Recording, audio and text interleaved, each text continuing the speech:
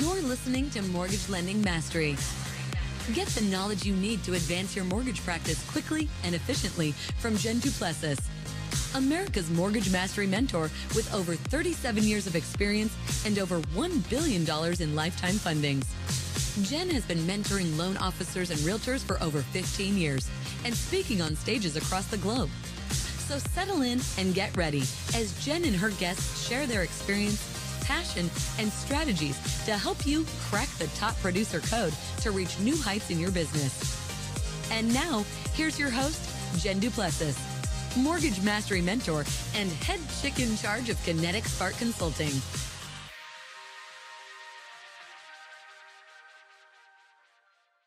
Hey everyone, welcome back to this episode. My guest today, I've had so much fun getting to know him. Uh, you know, we're also in some other networking together, and I've had so much fun getting to know him because what he's going to be talking about today is pretty cool. It's just the it's the angle that he has that makes this so interesting um, in helping and building high performance leaders and teams. Um, right up, you know one of the things I really love about this is that we do something very, very similar. It's just the mechanism in how we do it. And that's what differentiates us. And that's something that our um, listeners hear. So if you're listening to this, you you want to hear this is a lot of times we feel like we're a commodity in what we do, but it's how you do it that differentiates you. And so you're going to hear that from my guest today, Hugh Ballou. So welcome to the show, Hugh. I'm so excited to have this conversation with you. Jen, I'm excited to be here. Thank you for the invitation. Of course. So let me just tell everybody a little bit about you. Uh, so Hugh, uh, he loves talking about orchestrating success, uh, building high performance teams. He is an exceptional uh, orchestrator, right? As someone who is a conductor of um, orchestras and symphonies. And uh, you know, if you're watching this, you're seeing this in the background. You're seeing uh, a photo of him conducting an orchestra, and he's going to talk about how that comes together and creating beautiful music. So again, welcome to the show. I know you're, oh gosh, you know, multiple author. You know, you've got lots and lots of books that we can talk about as well. You have a couple of podcasts too. So we want to direct everybody to go listen to your podcast as well. But let's get started with how did you start becoming a uh, conductor? Because uh, you know, you and I've talked about this too. I played flute and piccolo and saxophone for many, many years and was in the Colorado Springs Symphony when I was in high school. Um, but I, I never had that draw to be the conductor. So why did that happen? What what transformed that made you want to do that? Well, I've always been a possibility thinker. Um, and I studied piano as a child. And at 18, my, my first year in college, I saw this note on the bulletin board uh, in the music department choir director position. So wow. I took it and went to the church and got the job. I had never been in a choir. So there's a barrier I broke through. I figured I'm going to learn how to do this because I saw other people do it. I had the musical training, I was getting more education. And so I just started doing it. And so 40 years later, I, I, left that profession. I've had three careers. One, I was a teacher. Um, I, and when you're a conductor, you're also educating people on what to do to raise the bar. Leaders share wisdom and empower people to raise the bar. And that's the, my my synergy. My company is Synervision. It's the synergy of the clarity that you get from a clarity of vision. If leaders can be very clear on what results they want, and then allow people to perform. The conductor doesn't play the instruments or sing the parts. The conductor enables people to raise the bar on the performance. So, 40 year career, I learned this is the Ballou 1090 principle. I learned that 10% of my job as music director was music. 90% was all of the stuff that made it possible. So yeah. if we're in business, we deliver a product or service, that's 10% of the total. 90% allows you to do that. And so yeah. I pretty much learned, I learned from some of the best conductors in the world, from the best leadership trainers, best facilitators. I had amazing opportunities to learn from people, but really, you learn by not doing things correctly and then being able to say, mm, those weren't mistakes, those were learning opportunities. So Jenna took everything I know as a conductor. How do you develop high performance teams? How do you get things done in a specific period of time? How do you create excellence? I transpose all those into the corporate staff, the corporate boardroom, the nonprofit boardroom. It's the same principles. Leaders lead. Yeah, and it's interesting because there's a lot of people who say, "Well, I lead a team, or I'm a leader," you know. Uh, and I know a lot of people now, uh, you know, and, and, over the years, you know, through through the pandemic, et cetera, we had, you know, some of the words were leadership, you know, authenticity, et cetera. And now it's become a loose word where people are saying, "Well, you know, I lead," and you know, I think that you have to learn how to manage before you can lead, but that's a whole other story. But um, you know leaders yeah. lead and I, and I, want you to you know for those of you listening i want you to hear that hear what he said. I'm kind of retracting several sentences ago but you know lead, definitely leaders lead. And when you look at the 1090 principle that you're talking about um, that i see with a lot of businesses is that they dive the leader dives in and does the work. And and this for me i share and this is why i love you so much because we talked about this before. I always use a symphony as an example. I have used that mm-hmm. for years, you know, is that you own the symphony. Your job is to pull people into this beautiful music that's going to be created. But you can't do that if you pull people in and then change your outfit to where, you know, in the little red outfit with the flashlight and show people the seat and then change, you know, into the conductor uh, you know, the tuxedo and and raise your hands, the batons up, and then before anything happens, you change into, you know, I'm going to play flute now for a few minutes, and then I'm going to go play timpani. You can't be all things, and and this is where a lot of leaders fail, is because they are they are wanting to do everything because that's where they came from. We all emerged that way, wouldn't you agree? We all emerged from being the worker bee we can't seem to snap out of it so give us some give these leaders who are listening some counsel on how do you snap out of this and stop snap doing the work yeah.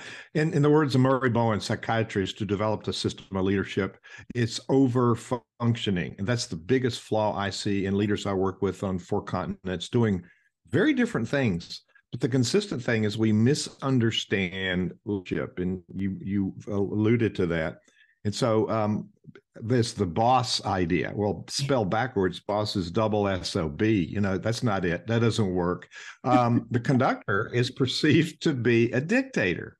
Well, you look at that's me there. It's my better side. You see the back of me. So the dictator. no, no. If you if you you got this little white stick, you see this yeah. little stick. This is yeah. a conducting baton. stick. It's yeah. a little white stick. You got union players who are professionals. They're there for two hours. They're going to play and leave. Yeah. You can you can't make them do anything because you got the stick, but you can influence them. Leadership is fundamentally about influence. Mm-hmm. Communication is about relationship. So right. underneath leadership is relationship. So you influence people when you build a relationship. And I'm standing on the podium, and that's what your feet go on podium, by the way. Um, yeah. I've got this. I got my eyes. I have very little occasion to speak because right. they're there to play and make music, not to hear me lecture about how it ought to go. So, right. so many leaders, many leaders make that you know the mistake of I want to do get in the micro. We micromanage people. Well, manage things, manage time, lead people. That's the Covey perspective. So we lead people by saying, "Here's the result I want." When it doesn't happen, like in rehearsal, and I find many leaders don't stop and say, I want this differently and yeah. without assassinating the personality or being hypercritical. So we stop and I say, trumpets, they're playing a loud instrument. Trumpets, that's too loud. Take it down one dynamic level. Let's mm-hmm. do it again. So I identified the problem. I didn't attack them. I didn't say they were wrong. in the back. They're playing a loud instrument. It's up to me to say, here's the adjustment we need. Leaders do not do that. So we're contributing to the low functioning teams by not saying, wait a minute, here's the result I need. So it's you own it. Here's what I need. They expect you to step up. And when you don't, everybody thinks poorly of your leadership. So yeah. we're not hurting people's feelings and it's not inappropriate. By the way, it's our vision and we're in charge. Yeah, yeah. Um, you know, I akin this to, you know, um, you know, a racetrack, right? A running racetrack where we have a baton, same kind of thing, same principle, right? A baton. And I think a, a lot of leaders um, do drive-by delegation. You know, they're throwing the baton at everybody at any point in the race. You know, they're just throwing it, and people don't understand what's expected.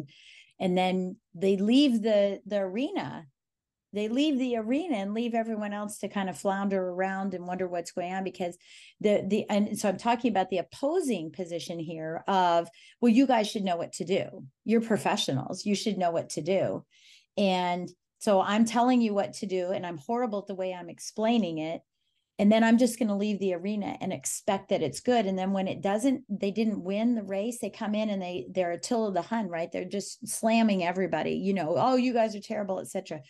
That's a failure in in leadership as well. Would you agree? Oh, you're spot on. You're so spot on. We want to tell people what to do. And really, when you have to answer questions and you have to tell people what to do, you have failed as a leader.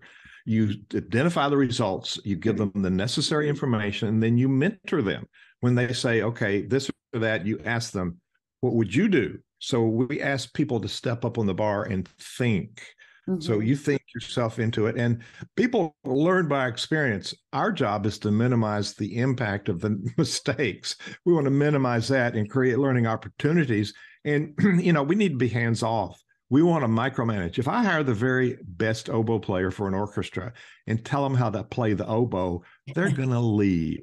Right. It's an right we insult people every day. So if we don't have, as a saying that if the orchestra respects the conductor, they play as the conductor intends. If they do not, they play just as you conduct. And you can't do all the little nuances. You can guide the process. So instead of doing the micro, we identify the macro and then we guide the process, make course corrections, and we influence people to raise the bar on their own performance. So transformational yeah. leadership is about building high performing leaders within teams. Yeah.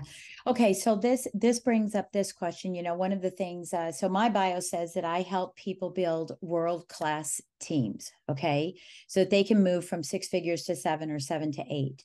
Building a world class team does not mean and, and I want I want you to talk about this, right? Doesn't mean hiring someone who breathes. It it just isn't. And I think that as leaders, what we tend to do, right? What we tend I, for those of you that are just listening, you got to go watch what Hugh's face looked like just now when he was laughing. Um, because uh, the tendency is to not develop and develop the leadership skills, but it's morphed into I, you know, I was an employee of widget making. You know, I was a great widget maker and now I have a widget making company and I'm still making widgets, like you said, over performing, right? Or over doing over functioning. Over functioning, right? So I'm still over functioning, but I get to a capacity where I need to hire somebody because I can't, I, I don't have infinite time, right? I can only do a lot of this for a while, for a period, short period of time. And I have this, um, I'm over functioning and so now it's time for me to hire someone. And I just hire someone, you know, and I've heard this, I've heard this myself as I was being interviewed in, in years and years ago is, you know, I really like you. I think you would be a great fit here. Let's bring you on and we'll figure out, we'll figure out what position would be best for you. Does that sound familiar? Yeah. Right? And I hear this from a lot of leader, well, so-called leaders, right? Managers who are elevating themselves to leadership is I'll just hire them because I need help. So they breathe. And then when they don't work, we blame them and not ourselves. So can you speak to the hiring and onboarding process of bringing on world-class rock star team members? Well, you look at me, I'm on the podium. This is a concert. This is a real live concert. I get there and I raise the baton. People are ready, give the downbeat. Everybody knows exactly what to do. Mm-hmm. Now, that's the tip of the iceberg. All of the infrastructure, choir, rehearse for months, the children's choir, which comes on, rehearse, had several rehearsals with the orchestra, then we put it together. And um, we build a system. There's a culture that operates within a system. On that music stand right there is the conductor's score. There's mm-hmm. a whole bunch of notes and they go by really fast. So when I step on the podium for first rehearsal, I know everything that's going to happen because I've studied it. Right. So we create our strategic plan. That is our that is our roadmap to success. Too many leaders want to make it up as they go along. Yeah. And when you do the strategy, you're going to identify the competencies you need. So this score, I need an oboe player. I need a double, uh, so many double basses. I need a contrabassoon. You know, it's a big old thing, looks like a big snake. So I know the competencies I need. I've studied it. So if we haven't built a strategy, we don't have a roadmap, we don't have clarity of where we're going and what we need. And when you bring on people, they don't know what to do because you haven't created this this strategy, which is an activation tool. It activates people. They know what to do, when to do. Then you go from trying to figure out using all your energy, trying to figure out what to do to guiding the process. And it unleashes your creativity when you have the structure. So you define the competencies, you hire for competencies, you want to make sure you know the person. But if you want to lose a good friend, hire your friend. That doesn't work. Different. right. Yeah, people yeah. have done that too. Yeah, it's interesting. I want I want to rephrase this hire for competencies because uh, you know, as a as a mentor myself, a lot of people don't speak that terminology of competency. So I want to I want to just rephrase this um, real quickly because I want to dig into something a little bit deeper here, which is um, you know, competencies is skill set, right? There's mindset and there's skill set, or let's just say ability and willingness. Ability and willingness. Competency is ability. We hire for the ability to do the job, not because we like them. And in in the context of, of a symphony and orchestra, um, there's a tryout process akin to interview process, right? There's a tryout. You have tryouts and you have multitudes of oboe players coming in that have to try out for the part. Um, in my case, flute. You know, I had to try it. I would remember how nervous I was in the basement of the or the, the conductor's house. You know, trying out for the Colorado Springs Symphony when I was in 11th grade. Can you imagine what that was like for me? It was like, oh my God, I'm going. This is big time, right? Um, and so before I went to the interview, did I practice or not? Was I prepared or not? Right. But also, he was prepared because he was very specifically looking for someone who could do something very specific. So, talk about that because we're really talking, when we talk about competency, we're talking about someone's ability and this is a this is an ebb and flow that happens um, in here so how do you know as the leader, if you're not prepared, like you said, how do you know uh, that you have someone who can perform, or are they just really good at um, rehe- at trying out, but they're not really good when it comes to playing with other people? So, how do you know that you're getting a good rock star? How do you know that you're getting someone with competence, other than through a you know half hour interview, a half hour uh, tryout? How do you know? What are some questions that you should be asking, or how do you prepare yourself for that? I know that's pretty deep, but I want people to understand this. It's both sides. It's not one sided, it's both sides. Absolutely. When I'm when I'm interviewing for a job, I'm interviewing them as mm-hmm. well as them interviewing me. And that's one of the things that most even companies that have really large departments are not very competent at doing what you're talking about. Mm-hmm we have to be very clear. Now, some of the audition, most of the orchestras, people audition behind a curtain. Mm-hmm. So we mm-hmm. don't have this influence of I like you, I like I like the synergy. We're we're asking them to play certain things, sight read something, play, you know, play this, play in harmony. You ask them to do multiple things. And then you don't settle with one interview. You have rounds of interviews. And so you got 10 people, you narrow it down to three, then you narrow it down to one through a series of interviews. Um, some people interview really well. They're good at BS. I can I can persuade you you need me, and then when they get into the job, they go, "Oh my, what am I going to do?" So it's it's really good. The competency is the raw skill. Now yeah. we need the personality that's going to fit, and we need the values and principles that are in alignment. If we're out of alignment in in the core values, it's never going to work right. And and Absolutely. make a bad hire and then we don't assimilate them into the culture very well. We don't give them a chance to succeed. And so many times it's the leader that sets up the problem. For instance i had a friend that hired one of his friends to be a marketing manager for a very substantial company. Well a month later no results. He goes down to his office and say what's happening? Well, i'm working on it. Okay. A month later what's happening? I'm working on it month later, I don't see any results. I'm working on it. So six months go by and he's working on it. He says, I can't fire the guy. He's my friend. He's got a family. All of this narrative that we lie to ourselves. Finally, he said, You know, this isn't working out. He said, Yeah, I just can't do this. And so what he did not do is set up performance expectations. Right. This right. is you come on board, you know, here's what I want to do. You tell me how you're going to get there, and then we talk about it. Then I approve the plan of work, and every week we touch base. How's it going? We've got specific deliverables and a specific timeline. If we don't create that accountability, we have set up a problem. And so they have their idea what they're supposed to do. We have an idea of what we want. We haven't ever clarified. So yeah. we've set up like then we blame other people. Mm.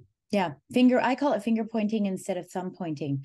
Um yeah, and uh, you know, I, I was thinking about you know a situation like this too. Uh, you know, when I was here, I was in eleventh grade, right, and I was having a problem with I had I was the only piccolo, so I was having a problem with it with um well the lone ranger song i'm going to say it that way because no one else understands the name of the song which i i know the overture but but William, um, William yeah, right and so there's a part in there where the piccolo has like this this crazy you know and i was actually struggling with that and um you know what i loved about the conductor is now i'm now now put yourself in this situation as you're listening to this right and put it you put yourself in a work environment and so you have someone who's not performing a specific thing and the tendency is to just say, let's let him go.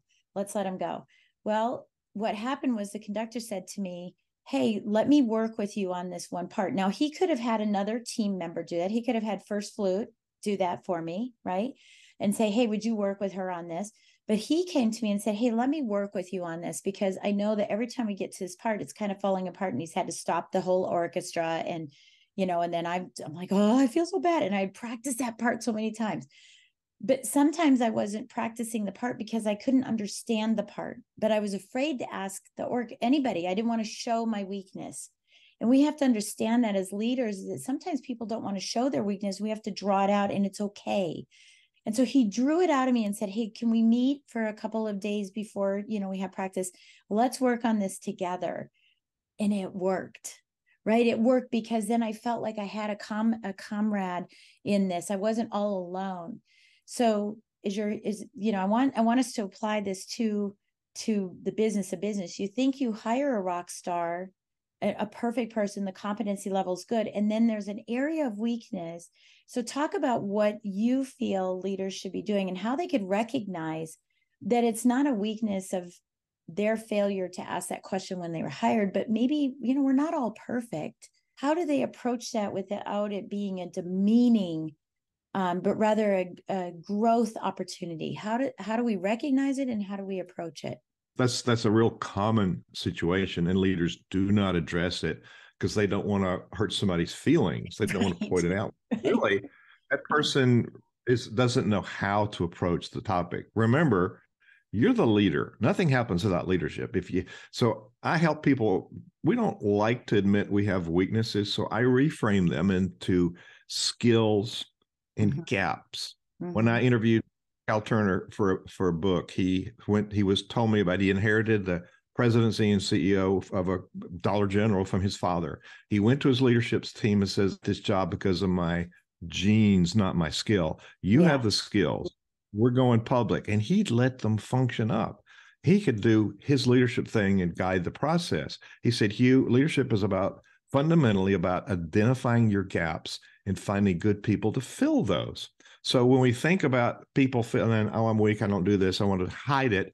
What what that what happened in that analogy you gave, that story you told, is he didn't point it out and embarrass you in public. He said, "Come on, let's work on this together." So there's a relationship building, there's yeah. nurture, affirmation that that conductor knew that you could raise the bar but you also came forward and you raised the bar. So we're not doing it he didn't do it for you. He couldn't do it for you.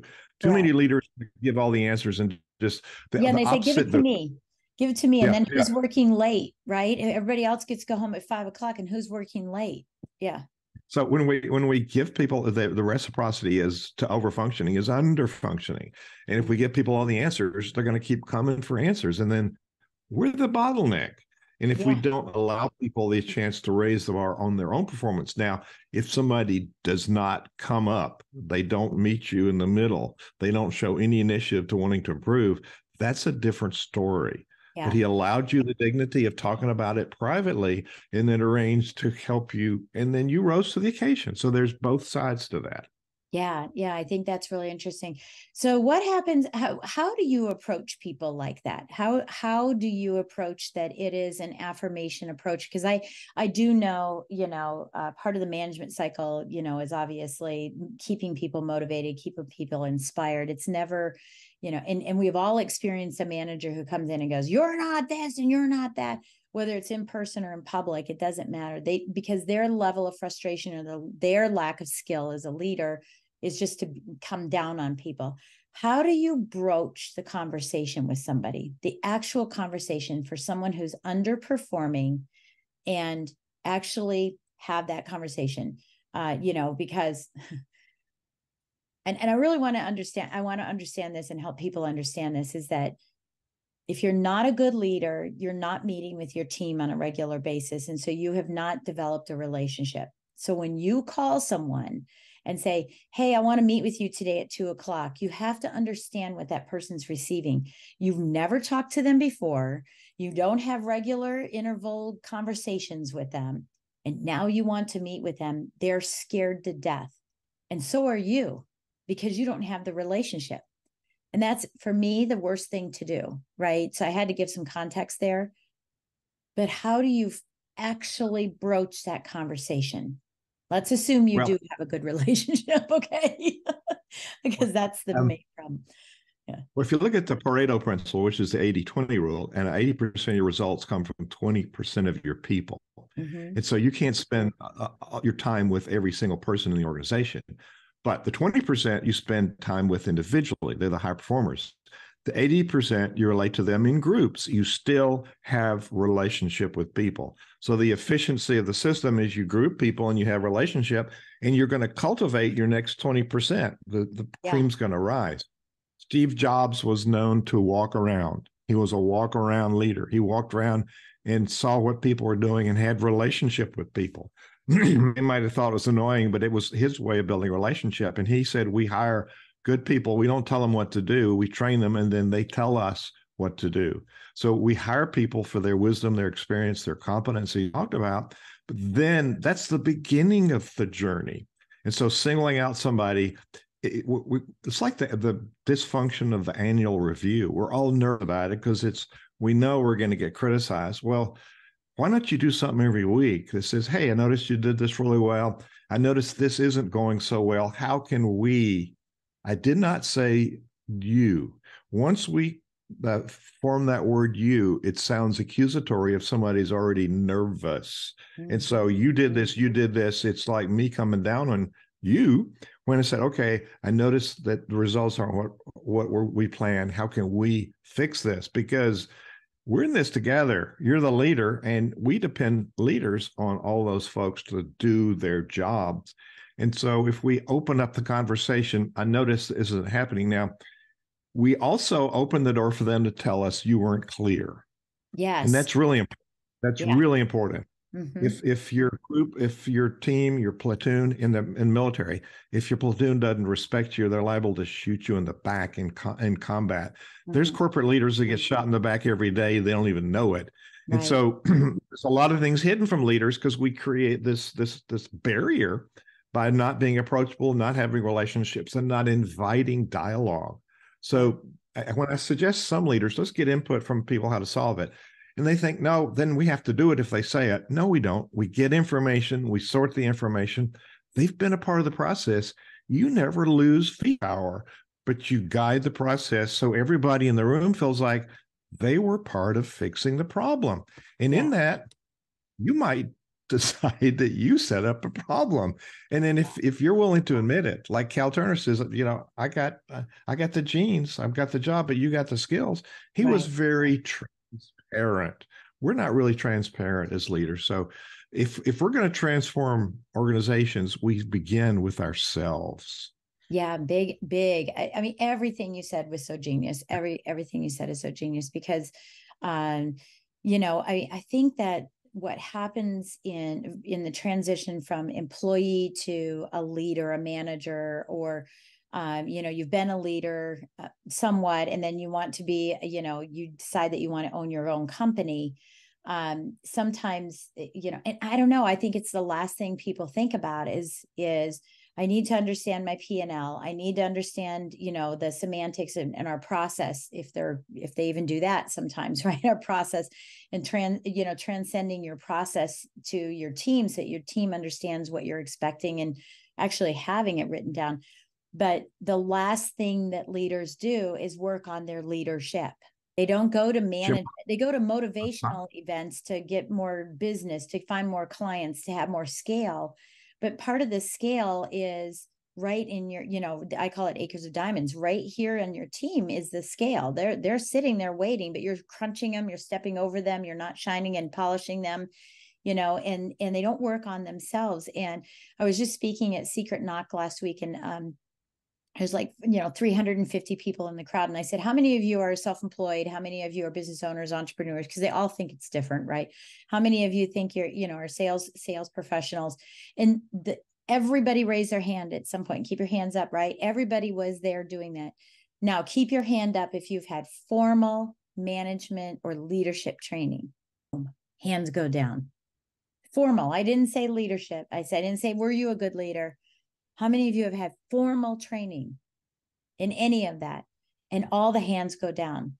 And this is why so many businesses have a lid on their business because they oscillate between I can do it myself better. I'll hire a few people. That's that was wrong. It was their fault. Back to square one. And this is why they never ever get to the goals and dreams that they expire. So what do you say about all of that?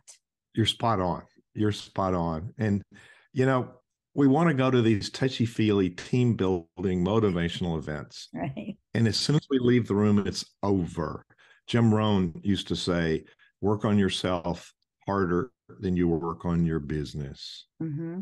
And so, and John Maxwell talks about the law of the lid. Yes. We can, our organization cannot function any better than our ability to lead it. We hit the lid. So that's some for women, that's the glass ceiling. Yeah. Um, for others, minorities. It's a glass ceiling. But you know i started in an industry i had no experience in and somebody recognized that i was nothing but possibility and gave me an opportunity.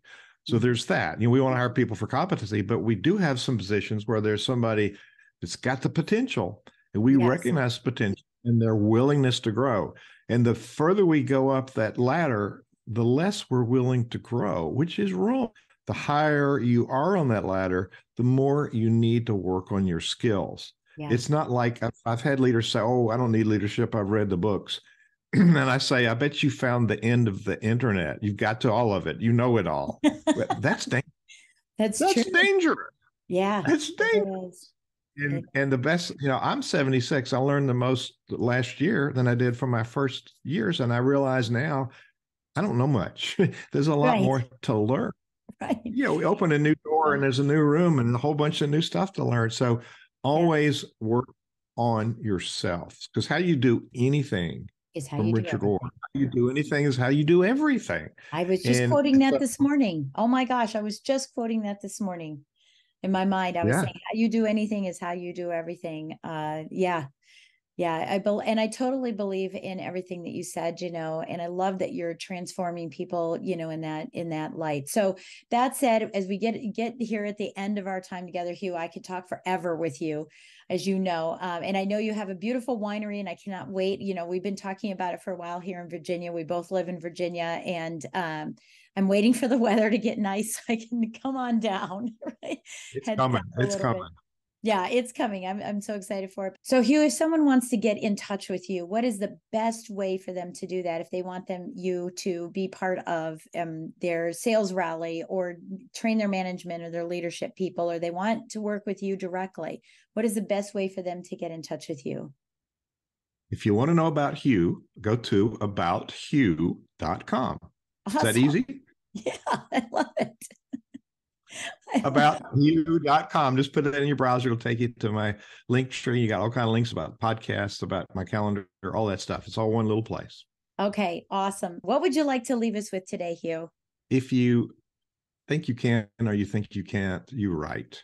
So if you what we learned from Napoleon Hill is the the people that were successful had a positive mental attitude. They had definiteness of purpose. They surrounded themselves with competent people and they always had that positive mental attitude. You can do it. So equip yourself and always continue to work on your skills. Love it. Thank you, Hugh, for being with us to here today. And again, I want to say thank you for listening in to um to us today. I know your lives are very busy. It's really really important. Hopefully you took some great notes and you can go back and listen to this again at half speed instead of one and a half speed, right? Listen to this again we'll call that two two time right? Go back and listen to, instead of listening at two two time we're going to be listening at four four time. We're going to slow it down a little bit. Get some notes in there right? I bet you love that hugh. Get some notes yeah. in there um, you know and take some action on some of this. Reach out to hugh. Reach out to me if you have any questions. And last but not least take a few minutes to just give us a great five star rating and write some comments in there about what you loved about what you heard from hugh and last but not least, be sure to subscribe to our YouTube channel. And if there are any links in here to any events that are coming up that I have, get yourself to some of these events. Start working on yourself just as much as you're working on your business. And with that, we will catch you next time. Thank you for joining. Thanks for listening to Mortgage Lending Mastery. Be sure to subscribe to hear more sales tips, ideas, strategies, and tactics to help you with your personal and professional growth to multiply your results in record time. And if you like what we're doing, don't forget to give us a rating and review so we can continue to bring you the best content possible. Wanting more beyond the podcast? Join our Mortgage Lending Mastery membership community, where you will find extended interviews with our favorite guests, weekly training, tips, and insider secrets, fireside chats with Jen, free content, meet, share, and collaborate with other members, and so much more. Click the link in the show notes to learn more about this exclusive content.